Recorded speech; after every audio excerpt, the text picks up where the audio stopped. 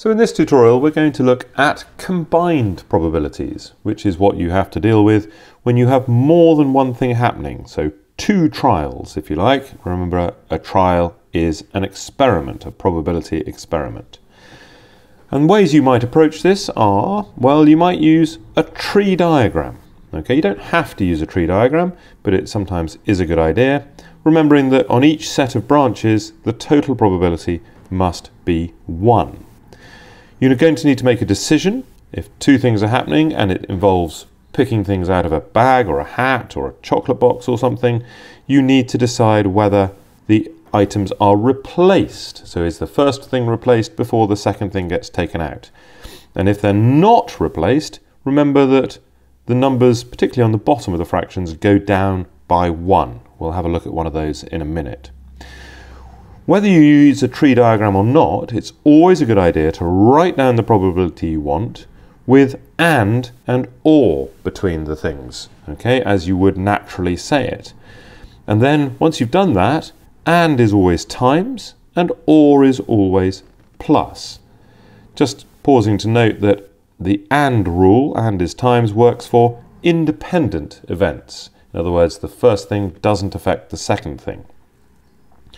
And the OR rule works for mutually exclusive events, which means the two things can't happen at the same time, like a head and a tail on a coin. They are mutually exclusive events. And there is a trick you can use, um, a couple of tricks here. It's often quicker and easier to use. Well, if you want to find the probability that something doesn't happen, so the probability of not A, it's often easier to find the probability that it does happen and subtract it from 1. And similarly, if you want to find the probability that you get at least one of something, find the probability that you'd get none of that something and subtract that from 1. And often the question will highlight a word which tells you to use that trick. So anyway, let's apply this to some questions. So here we have the box of chocolates with eight dark chocolates and four milk chocolates in it. So that's 12 in total and two chocolates are taken at random. Now, it very clearly says they're both taken out at the same time, but we treat that as one after the other without replacement. So these are clearly not replaced. In my experience, in my household, chocolates are never replaced. And we're asked what the probability is that they are different types. Well, we don't need a tree diagram necessarily, but we are going to draw one just to show you how they work. So, first chocolate can be dark or milk, and we put the probabilities on the branches. So the probability of a dark chocolate is 8 out of 12, and the, because there are 8 dark chocolates and 12 chocolates in total. And then the probability of a milk chocolate is 4 out of 12 for the similar reasons. And just note that, of course, those two things do add up to 1. And then we need to put a second set of branches on, okay, after each choice here. So if it's dark first, it can either be dark or milk second. And if it's milk first, it can still also be dark or milk second. And now, because we're without replacement, we need to be careful with the probabilities. So how many dark chocolates are left if we've already taken a dark chocolate out? Well, the answer to that is 7. But how many chocolates are left? Well, that's 11. And hits, that's what I mean by the numbers going down by one. The number on the bottom always goes down by one when it's not replacing, when we're not using replacement. Uh, and depending on which one you're taking, the number on the top might go down by one as well. Now what about milk chocolates? Well, there are still four milk chocolates left and 11 chocolates in total. And again, check that those two add up to one. For the second set of branches, well, there are eight dark chocolates left, but only 11 chocolates in total. And now there are only three milk chocolates left if I've taken one out, and 11 in total. And again, the numbers are going down by one. Now, whether or not we've drawn that tree diagram, we should now write down the probability with ands and ors. It's perfectly okay to use D and M for dark and milk. So, what's the probability they are different? Well, it's D and M, or M and D. Now, if you think those two things are the same thing, just have a look at the tree diagram. There are clearly two routes through the tree diagram, and you can see there are two uh, ways of getting different chocolates. So although you end up with one of each, you've got them in a different order.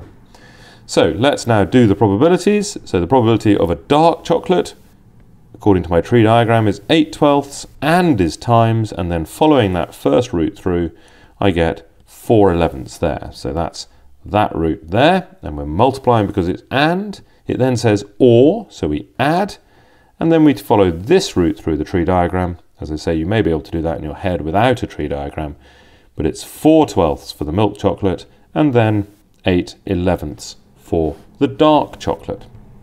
And if you do all of that, which you could do in your head if you like, that is 32 132ths plus 32 132ths, they turn out to be the same thing, which is 64 132ths, and that does in fact simplify to 16 out of 33. So there we go. There's an example of a combined probability question. Let's have a look at a slightly different one. Here we have a biased coin landing on heads 70% of the time. So the probability of a head is 0.7 and therefore the probability of a tail, of course, is 0.3, is it not? So let's actually just write that down. So probability of head equals uh, 0.7, and the probability of a tail, which is in fact you could call not head, head dashed, h dashed, is 0.3. Okay, now notice that there's a highlighted bit in the actual question. John tosses the coin three times. What is the probability that he tosses at least one head? And I think that's the question telling me to use this trick here. You could do it the other way, but it would take you a lot longer. So we're asked about the probability of at least one head, and I'm going to use the trick. It's 1 minus the probability of no heads. And so that's 1 minus the probability of tail, and tail and tail. Now, I can just do my and and or thing here. Actually, there are no ors, so it's just ands, and I get 1 minus 0.3 times 0.3 times 0.3.